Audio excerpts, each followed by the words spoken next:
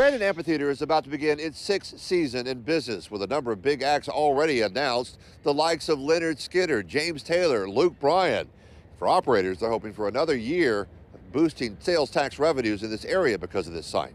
Jake's is a Brandon restaurant, seeing a jolt to its business when a concert comes to town. It just you see an impact right at the uh, at the start. Doty and Don Sullivan say the numbers are dramatically different when the Brandon Amphitheater brings in a show. If it's a, a weekday night, like Thursday night or uh, say a Tuesday night concert, it's drastic. It's, it's, It's it's, more than double. It's, it's more than double.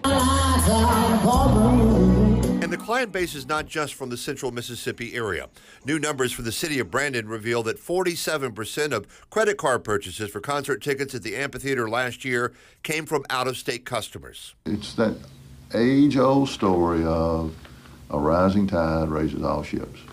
So, in a sense, it's helping Madison County, it's helping Ra- uh, Hinds County. I'm sure, you know, from Meridian to Vicksburg, it's helping the I 20 corridor here in central Mississippi. Brandon Mayor Butch Lee says the amphitheater has also hosted Christmas light shows and gumbo cook-offs, events that have also bolstered city coffers. But eight concerts in the month of August last year alone spiked the city collections, and those numbers were evident just a few months later when the tax collection numbers are counted. But I see a 23% increase in October to October, year over year.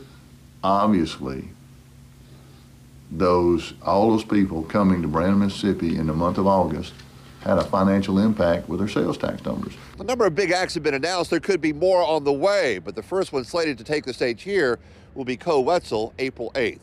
In Brandon, Scott Simmons, 16, WAPT News.